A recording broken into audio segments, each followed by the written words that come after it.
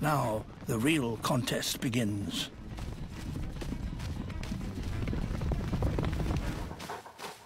The rest of the pack stop, believing they have an easier target. And the dogs can do nothing.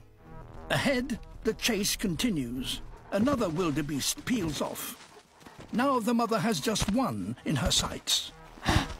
But it will mean nothing. The situation here has reached stalemate. Dogs now have the numbers to bring the wildebeest down.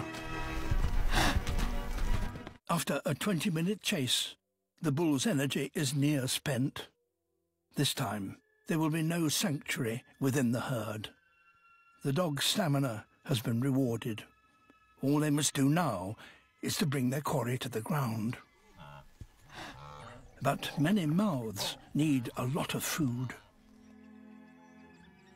Teamwork and stamina on Africa's open plains have proved to be a winning combination.